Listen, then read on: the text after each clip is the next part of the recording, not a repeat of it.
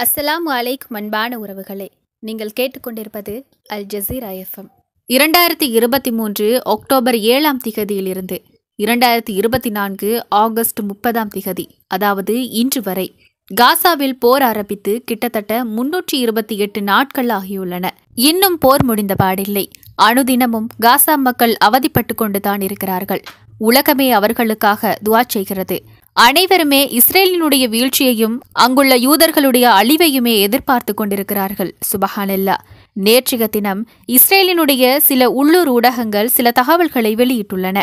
அதாவது நூற்றுக்கணக்கான இஸ்ரேலிய சிப்பாய்களை ஒரு வகையான கொடிய காய்ச்சல் தொற்றியுள்ளது என்றும் அதனால் பாதிப்புக்குள்ளானவர்கள் வைத்தியசாலைகளில் அனுமதிக்கப்பட்டுள்ளார்கள் என்றும் அவர்களில் சிலர் சிகிச்சை பலனின்றி இறக்கும் தருவாயில் இருப்பதாகவும் தகவல்கள் வெளியிட்டுள்ளன. அதேபோல சென்ற வாரமும் கூட சில சிப்பாய்களை ஒரு வகையான பூச்சிக்கடி நோய் தாக்கியுள்ளதாகவும் கூறப்படுகிறது.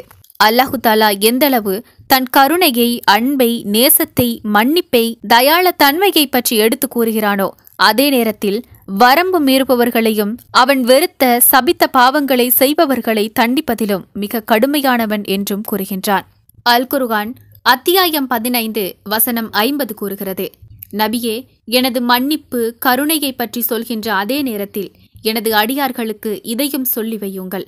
எனது தண்டனை மாபெரும் கடுமையான தண்டனையாகும் என்று. சுபஹானல்லா. உடனே இஸ்ரேலிய சிப்பாய்களுக்கு இப்படி நடந்ததற்காக நாம் மகிழ்ச்சி அடைவதோ சந்தோஷப்படுவதிலோ எந்த பலனும் இல்லை. அதற்கு பதிலாக அல்லாஹு தாலாவையும் அவனது தண்டனையையும் நினைத்து அஞ்ச வேண்டும்.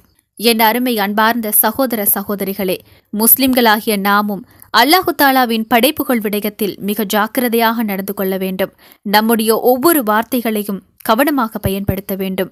அன்பான உறவுகளே அல்லாஹு தாலா யாவற்றையும் பார்ப்பவன் யாவற்றையும் நன்கறிந்தவன் சுபஹானல்லா